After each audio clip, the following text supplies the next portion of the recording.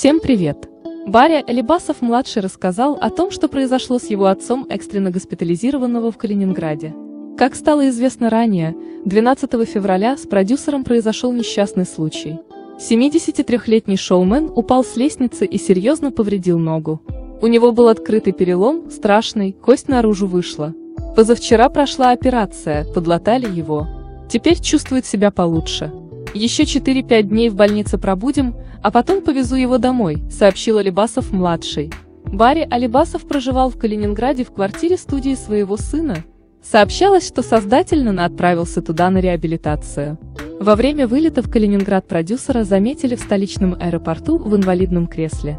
На новости госпитализации шоумена ранее эмоционально отреагировала актриса Лидия Федосеева-Шукшина, которая в конце прошлого года развелась с Алибасовым, но теперь приняла решение воссоединиться с ним. Она уверена, что с продюсером ничего бы не случилось, если бы она находилась рядом с супругом. Отметим, что в июле уже сообщалось, что Алибасова отправят в Калининград на реабилитацию после лечения в московской психбольнице. У музыканта обнаружены необратимые нарушения в коре головного мозга. А у нас на этом все. Спасибо, что были с нами. Подписывайтесь на наш канал. Ставьте лайки, комментируйте. Всем пока!